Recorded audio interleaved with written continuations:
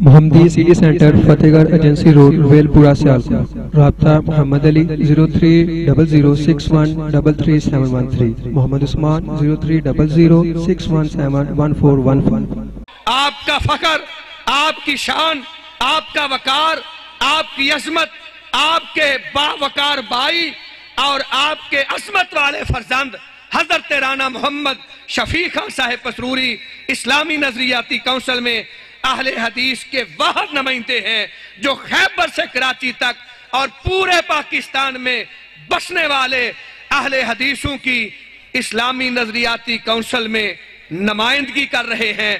اللہ سبحانہ ہوا تعالی حضرت رانا صاحب کو اللہ تعالی اور زیادہ دین حنیف کی، دین متین کی خدمت کرنے کی، ترویج اور اشاد کرنے کی اور مسلک اور مسلک کی الحمدللہ دعوت کو گھر گھر پہنچانے کی توفیق عطا فرمائے۔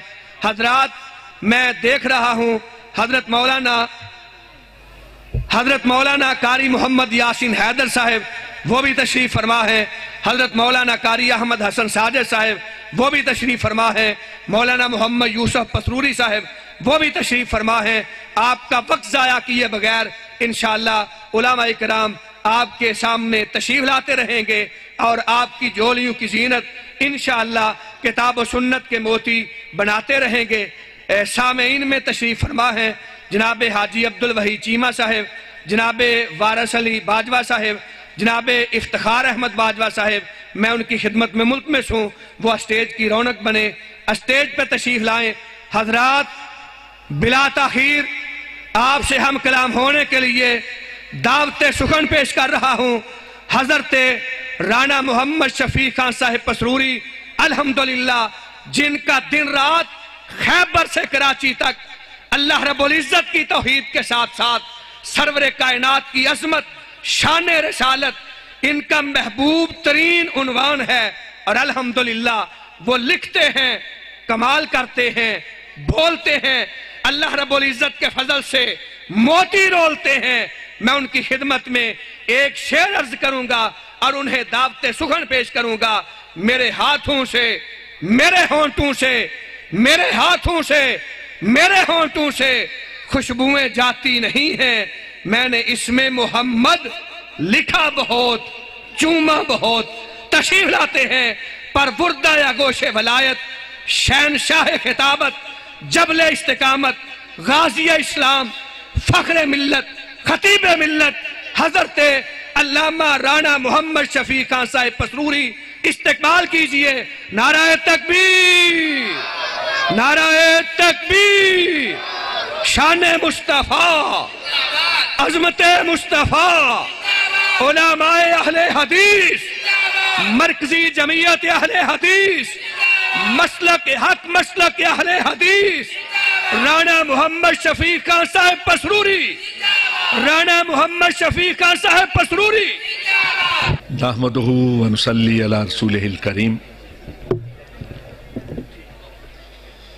اللہم صلی وسلم علی سید البشر والشفیع والمشفع فی المحشر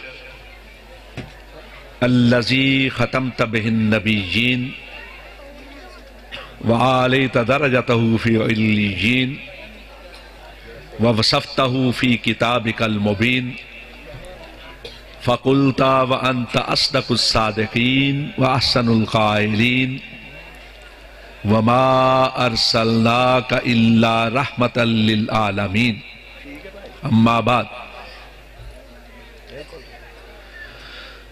آج کی یہ عظیم کانفرنس جو ہر لحاظ سے کامیاب و کامران ہے میں اس پر صرف انتظامیہ کو مبارکباد ہی پیش نہیں کرتا، بلکہ اپنے جذبات قلبی کو بھی بیان کرنا چاہتا ہوں۔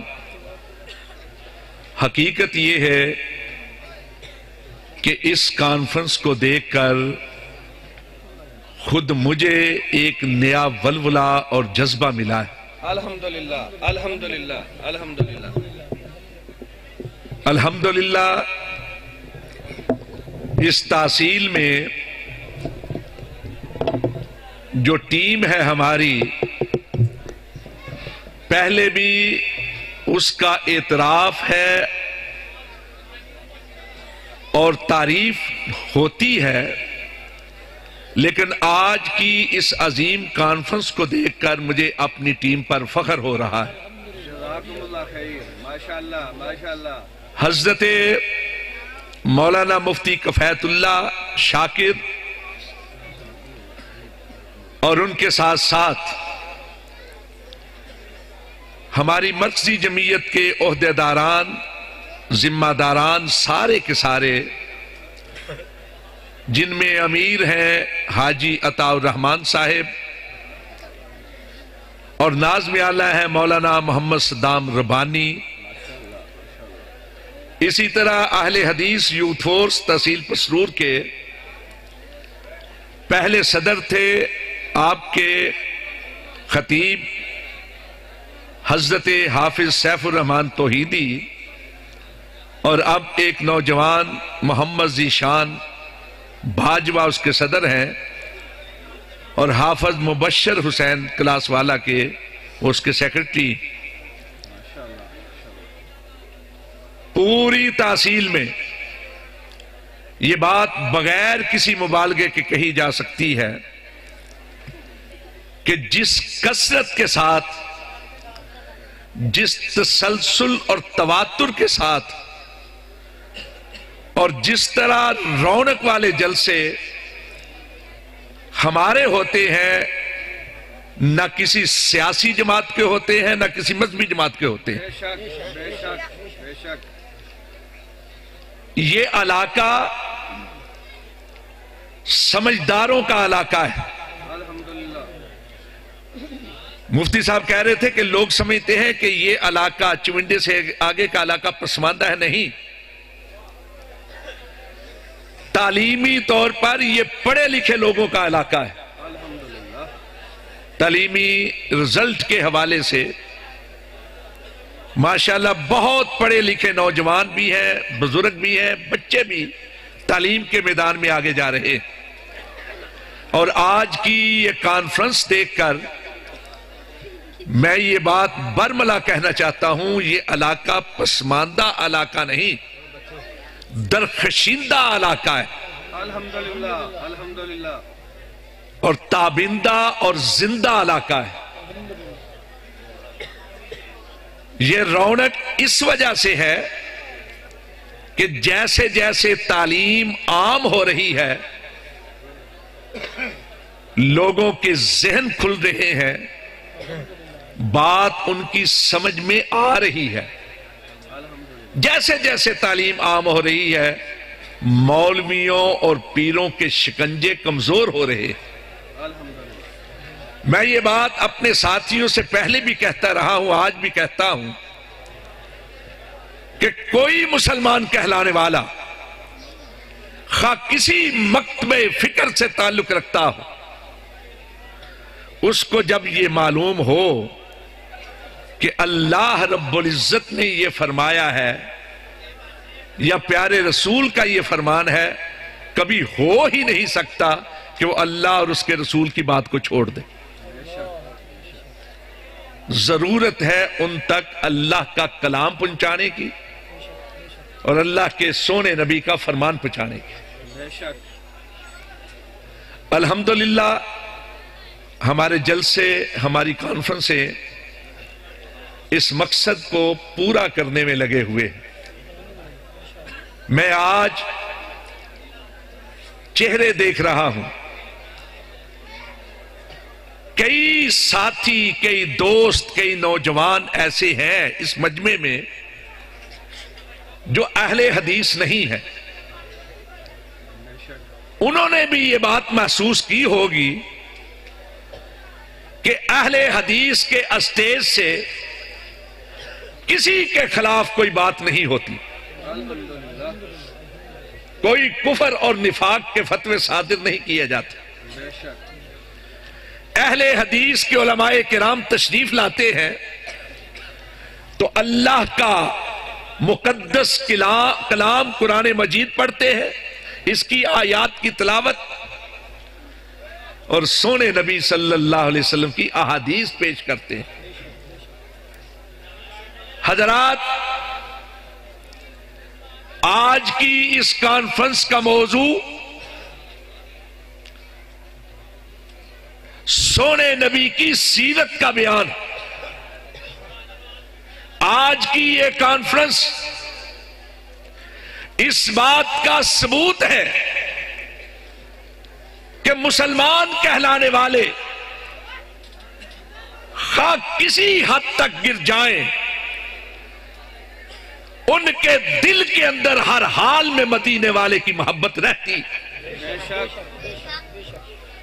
ایک مسلمان کا سب سے بڑا سرمایہ اس کائنات کے اندر آمنہ کے لال سے محبت ہے، مدینہ کے تاجدار سے محبت ہے۔ اور بالخصوص ہم اہل حدیث نہ جانے لوگ ہمارے بارے میں کیا شکوک و شبہات پھیلاتے ہیں یا نہ جانے کن کن شکوک و شبہات کا شکار ہم یہ بات برملا کہہ دینا چاہتے ہیں کہ اوروں کے لیے تو اور بھی ہیں، ہمارے لیے تو سوائے مدینے والے کے کوئی نہیں۔ اس لیے ہماری کانفرنس ہمارے جلسے ان میں سب سے زیادہ موضوع پیارے رسول کی سیرت مبارکہ ہوتی ہمارے علماء کرام تشریف لائیں گے۔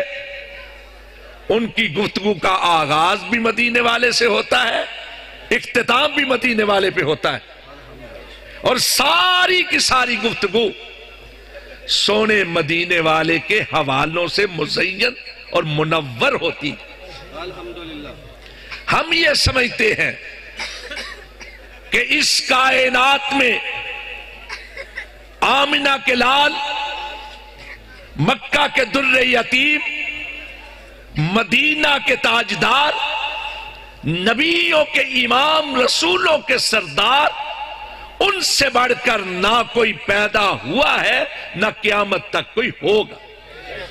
مزت الدہور وما اتینا بمثلہی وَلَقَدْ أَتَا فَأَجَزْنَا أَن نُدَرَائِهِ صدیاں بیت گئی زمانے لد گئے۔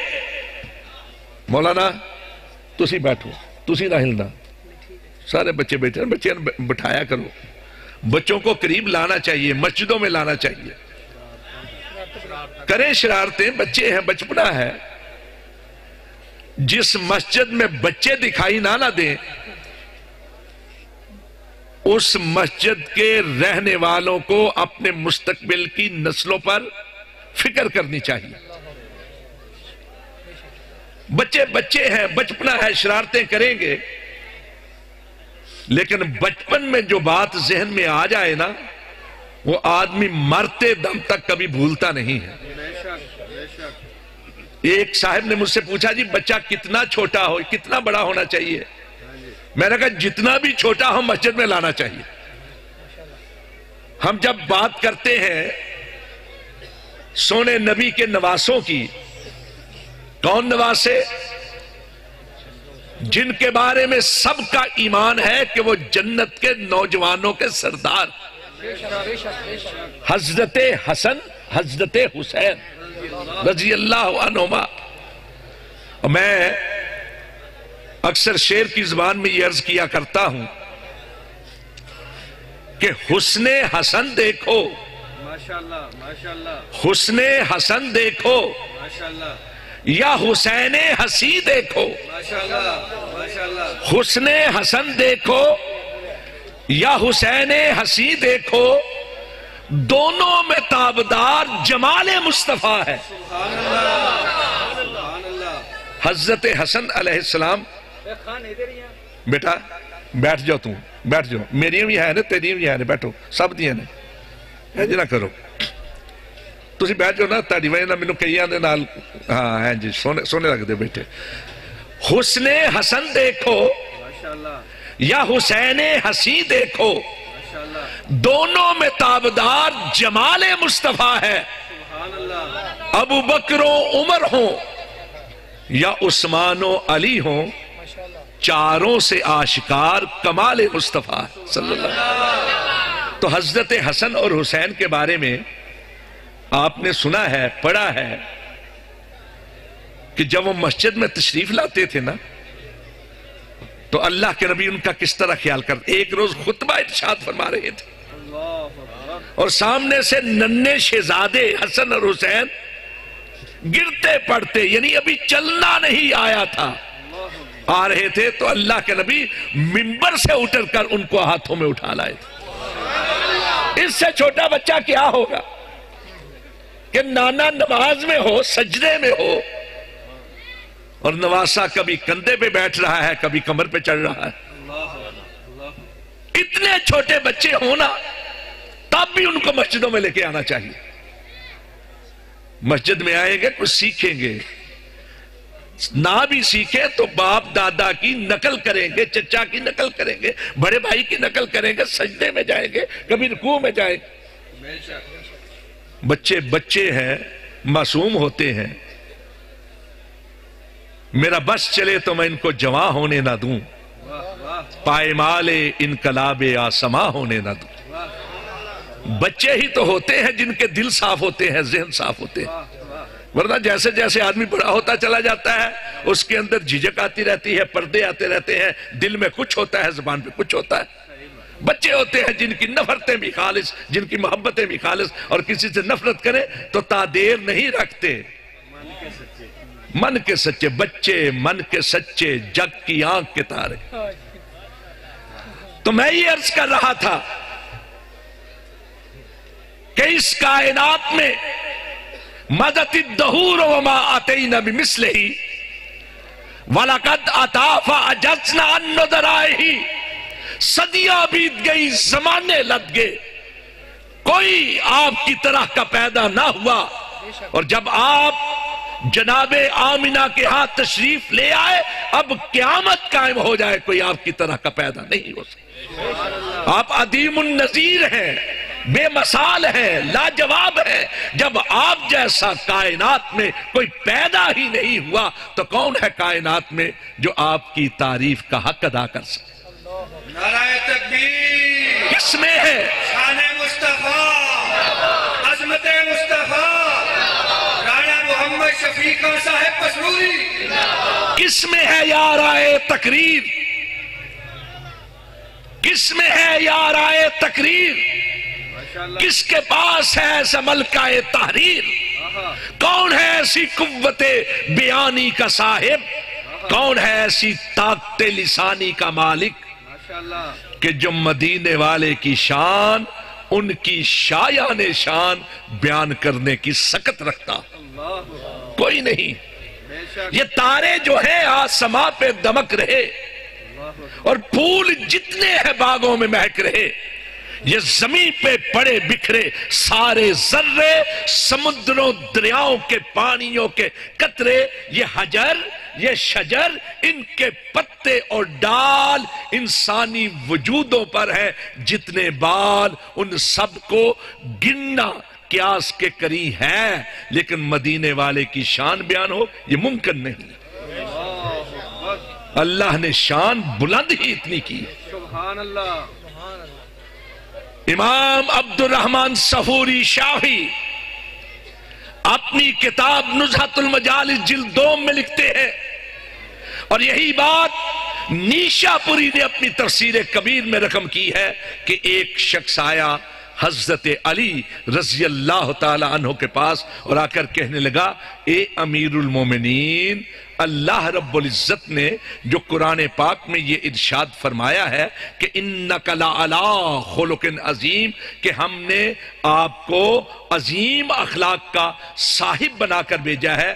تو اے امیر المومنین، ذرا یہ بتائیے کہ لفظ عظیم کا معنی کیا ہے؟ لفظ عظیم سے مراد کیا ہے؟ اس کا مفہوم کیا ہے؟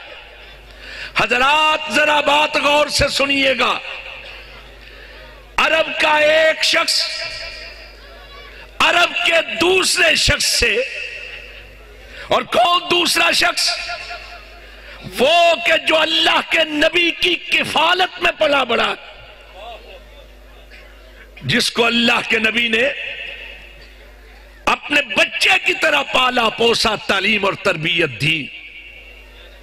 حضرت علی رضی اللہ تعالیٰ ان سے پوچھ رہا ہے ایک عام لفظ کے بارے میں کوئی ہم جیسا ہوتا جلد باز تو کہتا تجھے لفظ عظیم کا معنی نہیں معلوم؟ عظیم کا معنی ہوتا ہے عظمت والا شان والا بڑا۔ لیکن حضرت علی رضی اللہ تعالیٰ نے مسکرا دیے۔ کہا اے سوال کرنے والے میں تیرے سوال کا جواب دوں گا پہلے تو میرے ایک سوال کا جواب دے۔ اس نے کہا، امیر المومنین پوچھئے، کہا، یہ بتا، تو اس دنیا کے بارے میں کیا جانتا ہے؟ اس کی افاقیت کے بارے میں، اس کی وسط کے بارے میں، اس کی گہرائی و گہرائی کے بارے میں، اس کی رنگا رنگی اور قسمہ کسی قسمی کے بارے میں۔ تو کیا کہے گا؟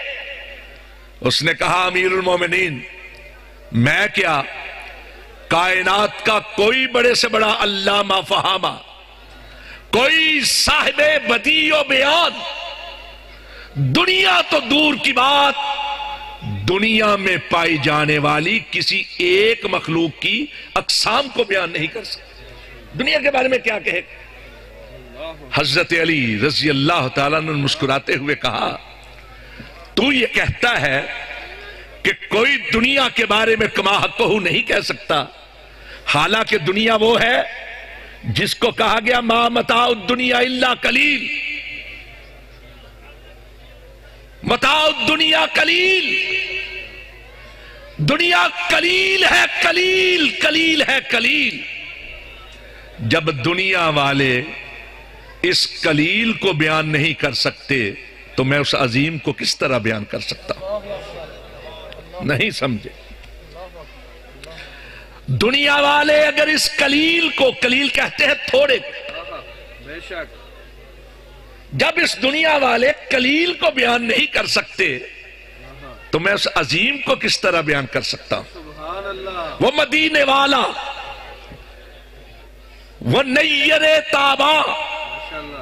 وہ نازش روحانیاں، وہ غیرت قدسیاں جو عظمتوں کی انتہاؤں پر فائز ہے، کائنات میں رہنے والا کوئی اس کی شان، اس کی شایان شان بیان کرنے کی سکت نہیں رکھتا۔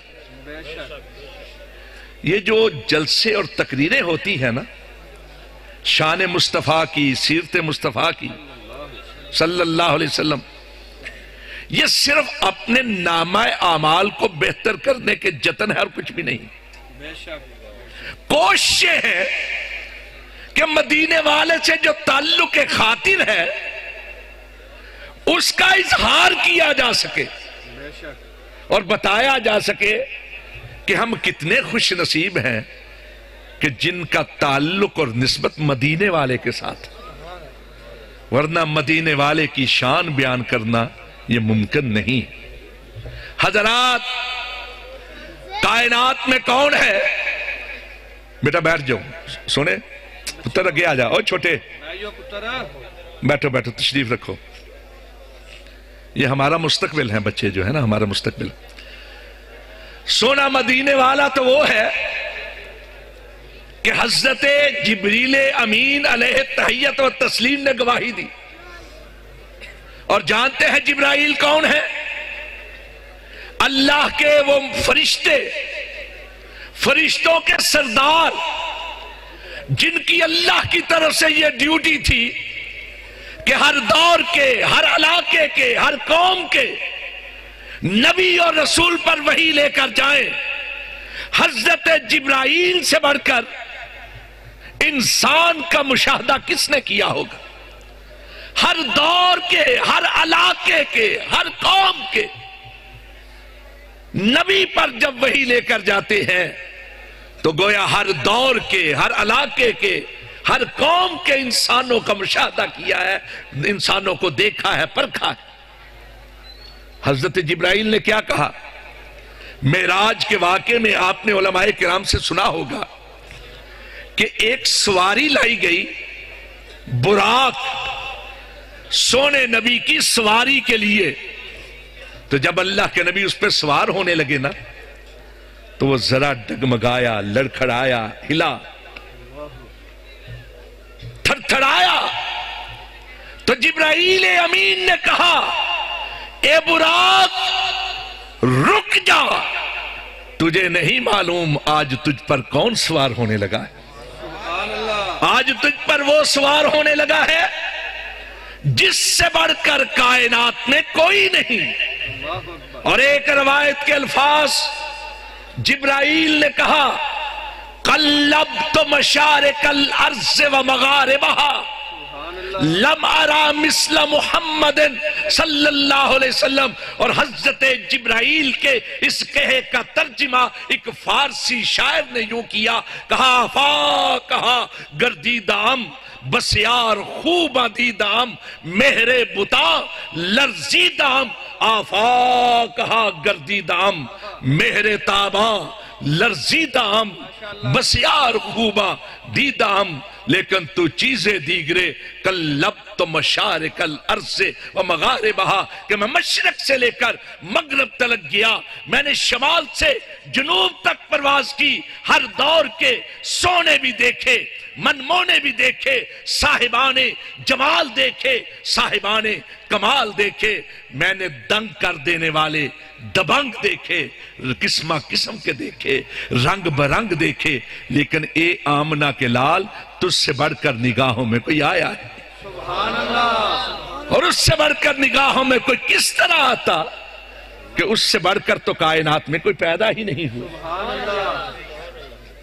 حضرت حسان بن ثابت رضی اللہ تعالیٰ عنہ نات کے مشہور ترین اشعار، کہا وَاسَنَ مِن کَلَمْ تو عَيْنٌ اور جانتے ہیں یہ حسان کون تھے۔ حسان بن ثابت رضی اللہ تعالیٰ عنہ کون تھے۔ کائنات کے سب سے بڑے نات خاں کائنات کے سب سے بڑے نات خاں سب سے بڑھ کر مداح رسول وہ عظیم حسان کہ جس کو سونے نبی اپنے ممبر میں بٹھا کر خود سامنے بیٹھ کر اپنی نات سنا کرتے تھے۔ اور فرمایا حسان معیت بے روح القدس ہے۔ اللہ۔ جبریل کے ذریعے سے حسان کی مدد کرے۔ حسان نے جو کہا جبریل کی تعید و نصرت شامل حال ہو دعا کی صورت میں۔ اور تعید و توثیق و تصدیق ہو سونے نبی کی سماعت کی صورت میں۔ تو حسان سے بڑھ کر نات کس کی ہو سکتی ہے؟ حسان نے کیا کہا تھا؟ کمال کر دیا۔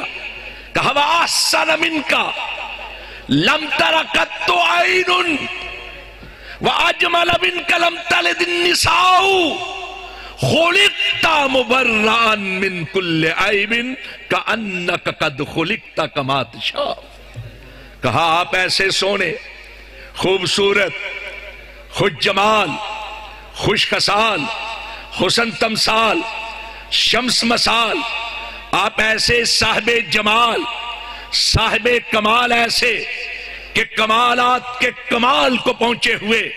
اور حسن صفات کے اتمام کو پہنچے ہوئے کہ آپ سے بڑھ کر حسین و جمیل، وجیح و شکیل، کائنات کی کسی آنکھ نے دیکھا ہی نہیں۔ اور کائنات کی کوئی آنکھ آپ سے بڑھ کر سونا، آپ سے بڑھ کر منمونا، سندر سروپ چندہ کا روپ کس طرح دیکھتی کہ آپ سے بڑھ کر حسن و جمال کا پیکر کائنات کی کسی ماں نے جنا ہی نہیں۔ آپ ایوب سے مبرہ، نقائص سے مصفہ، خامیوں سے پاک، کجیوں سے صاف اس طرح پیدا ہوئے ہیں کہ آقا ایسے دکھائی دیتا ہے جیسے خالق نے آپ کو آپ کی مرضی کے مطابق پیدا کیا۔ حضرات، آپ کی شان بیان ہوتی چلی جائے، وقت بیتتا بیتتا چلا جائے، دفاتر پر دفاتر رقم ہوتے چلے جائیں آپ کی شان کا حق ادا نہیں ہو سکتا۔ ہم اہل حدیث صرف یہ عرض کرنا چاہتے ہیں کہ لوگوں، مدینے والے کی ذات جیسی کوئی ذات نہیں۔ اللہ نے ایسی ذات پیدا کی ہے مدینے والے کی سنیں ذرا سنیں مسلک اہل حدیث مدینے والے کی ذات جیسی کسی کی ذات نہیں۔ اگر مدینے والے کی ذات جیسی کسی کی ذات نہیں تو رب کعبہ کی قسم مدینے والے کی بات جیسی بھی کسی کی بات۔ بتاؤ۔ ہاتھ اٹھا کر ذرا بتائیں۔ مدینے والے کی ذات جیسی کسی کی ذات ہو سکتی ہے؟ اگر ان کی ذات جیسی کسی کی ذات نہیں تو ان کی بات جیسی کسی کی بات ہو سکتی ہے؟ یہ ہے وہ جرم جو اہل حدیث کرتے اس وجہ سے لوگ برا کہتے کہتے ہیں یہ پیروں کو نہیں مانتے، یہ فقیروں کو نہیں مانتے، یہ اماموں کو نہیں مانتے۔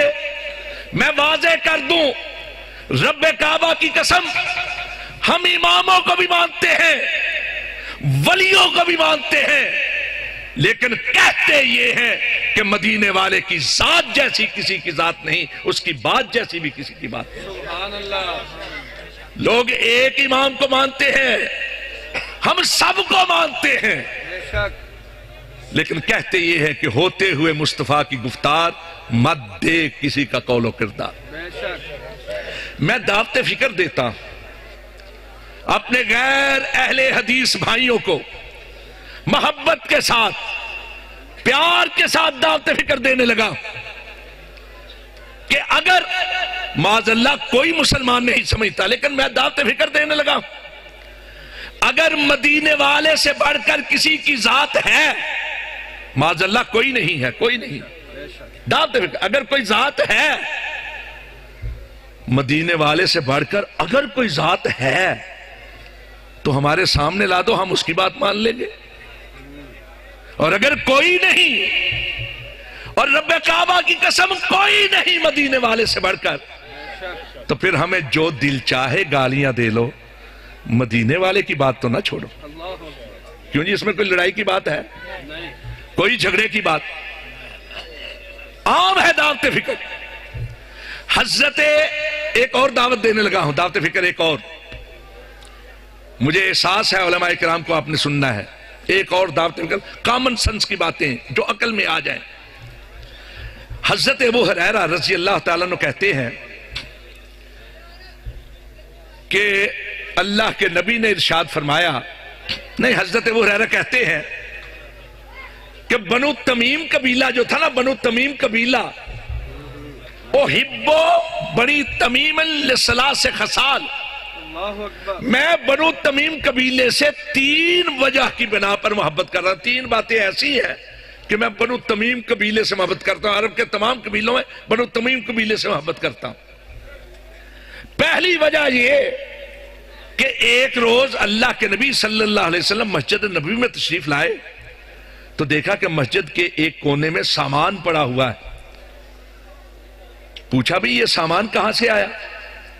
کہا جی یہ بنو تمیم قبیلے نے بھیجا ہے۔ تو سونے نبی نے ارشاد فرمایا حاض ہی صدقات و قومی میرے قبیلے کے لوگوں نے بیچا ہے۔ بنو تمیم قبیلے کو اللہ کے نبی نے اپنا قبیلہ قرار دیا، اپنی قوم قرار دیا۔ ایک یہ وجہ ہے۔ دوسری وجہ یہ ہے کہ ایک روز آپ گھر میں تشریف فرما تھے تو ایک بچی آئی، پوچھا بھائی، تیرا کس قبیلے سے تعلق ہے؟ اس نے کہا، بنو تمیم قبیلے سے. تو سونے نبی نے خوشی کا اظہار کیا اور کہا، یہ اولاد اسماعیل ہے، میرے باپ اسماعیل کی اولاد. ایک دوسری وجہ یہ اور کہا، تیسری وجہ یہ ہے کہ سونے نبی نے بنو تمیم قبیلے کا نام لے کر کہا، اشد امتی الدجال. جب قیامت کے نزدیک دجال کا فتنہ برپا ہوگا، بڑے بڑوں کا پتا پانی ہو جائے گا، ایک بنو تمیم کا قبیلہ ہوگا جو دجال کے سامنے ڈٹ کر کھڑا ہو۔ گویا اللہ کے نبی نے بنو تمیم قبیلے کو قیامت تک حق پر قائم بتایا۔ میں دعوت بھی کر دیتا۔ ہوں ہم پر شک کا اظہار کرنے والے میرے بھائی، سعودی عرب جاتے رہتے ہیں، جائیں وہاں، اگر خود نہیں جاتے، تو ان کے پیارے وہاں جاتے ہیں، یہاں موجود ہوں گے۔ ان سے پوچھیں کہ بنو تمیم قبیلے کی دعوت کیا ہے، مسلک کیا ہے، دین کی فکر کیا ہے، ان کی تعلیمات کیا ہے، ان کی نماز کا طریقہ کیا ہے۔ میں بتا دیتا ہوں بنو تمیم کہاں رہتے ہیں۔ ریاض کے قریب قسیم کا علاقہ ہے۔ کثرت کے ساتھ وہاں موجود ہے۔ اور آج سعودی عرب کے جو مفتی اعظم ہے نبی نے، شیخ عبدالعزیز، وہ بنو تمیم قبیلے کے ہیں۔ اس سال وہ حج کا خطبہ نہیں دے سکے، بیماری کی وجہ سے۔ اس سے پہلے وہ حج کے امام بھی ہے وہ بھی بنو تمیم قبیلے کے۔ دیکھیں ان کا مسلک کیا ہے، ان کی دعوت کیا ہے، ان کی نماز کا طریقہ کیا ہے۔ اگر پاکستان کے اہل حدیثوں والی ہے دعوت، تعلیمات پاکستان کے اہل حدیثوں والی، فکر پاکستان کے اہل حدیثوں والی، نماز کا طریقہ پاکستان کے اہل حدیثوں والا، تو نبی کی محبت کی وجہ سے اس کو قبول کر لینا، ہمیں جو دل چاہے گالیاں دیتے رہے۔ اور اگر ذرا ہٹ کر ہو تو ہمیں بھی بتا دینا ہم بھی ان کا طریقہ اختیار کر لیں۔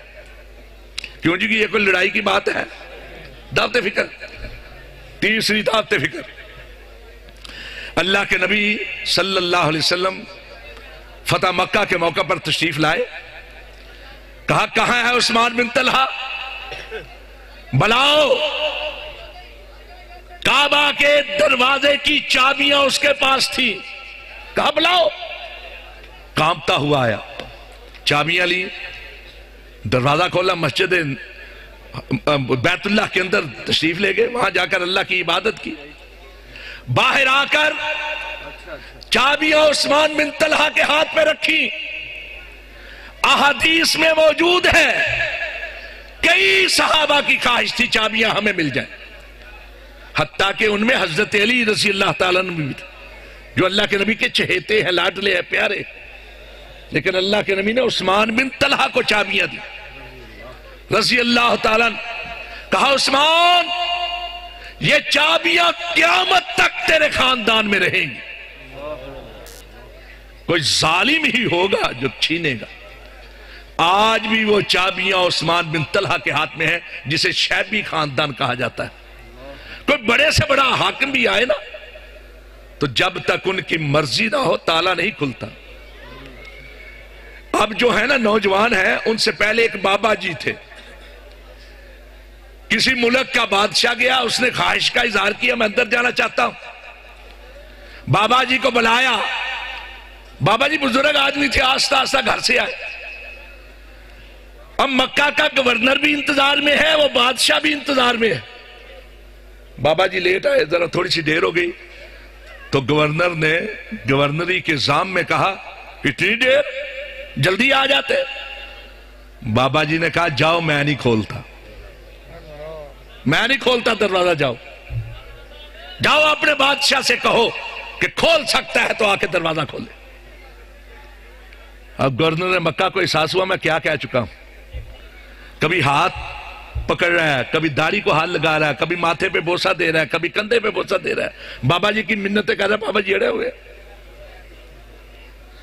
جب تک اس خاندان کا فرد نہ چاہے، بیت اللہ کا دروازہ نہیں کھل سکتا۔ اور کوئی ان پہ جبر نہیں کر سکتا کہ اللہ کے نبی نے کہا تھا، یہ چابیاں عثمان قیامت تک تیرے خاندان میں رہی میں دعوتیں فکر دیتا ہوں اپنے غیر اہل حدیث بھائیوں کو کہ قسیم کے علاقے میں آپ نہیں جا سکتے۔ مکہ میں تو سارے جاتے ہیں حج اور عمرے کے لیے۔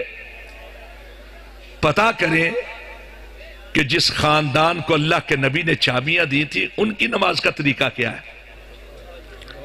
ان کی دعوت کیا ہے؟ ان کی فکر کیا ہے؟ ان کی سوچ کیا ہے؟ ان کا مسلک کیا ہے؟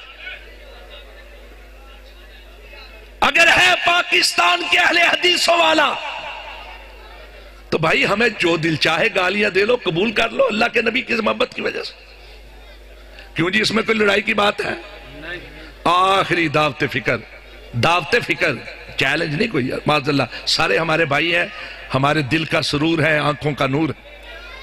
سر کا، ماتھے کا سامان ہے، عزت و احترام کا مقام رکھے ہوئے۔ دعوت فکر۔ ہم میں خامیاں ہیں۔ بحیثیت فرد بڑے نقص ہوں گے، خامیاں ہوں گی، کمیاں ہوں گی۔ رب کعبہ کی قسم ہمارے مسلک میں کوئی خامی نہیں۔ اس لیے کہ ہمارا مسلک اللہ کا قرآن ہے، یا سونے مدینے والے کی ذات اور ان کی بات۔ میں دعوت فکر دیتا ہوں۔ کوئی ایک مسئلہ، کوئی ایک مسئلہ، کوئی ایک مسئلہ۔ میرے مسلک کا ایسا بتا دو جو اللہ کے قرآن کے خلاف ہو، رسول اللہ کے فرمان کے خلاف ہو، بتانے والے سے لڑیں گے نہیں، اس کا شکریہ ادا کریں گے اور صبح کے سورج کے طلوع ہونے سے پہلے وہ مسئلہ بھی چھوڑنے کے لیے تیار۔ اور اگر کوئی نہیں، تو بابا ہم اپنے علماء کی طرف نہیں بلاتے، ہم اپنے مفتیوں کی طرف نہیں بلاتے۔ ہم اپنے اماموں کی امامت کی طرف نہیں بلاتے۔ ہم اپنے فقیحوں کی فقاہت کی طرف نہیں بلاتے۔ ہم بلاتے ہیں تو اللہ کی طرف بلاتے ہیں، مدینے والے کی طرف بلاتے ہیں۔ یہی ہے ہمارا مسلک۔ یہی ہے ہماری دعوت۔ اور اسی لیے ہماری کانفرنسوں کا موضوع سیرت مصطفیٰ ہوتا ہے صلی اللہ علیہ وسلم۔ اللہ رب العزت سمجھنے کی توفیق عطا فرمائے۔ وقول کو لحاظ اللہ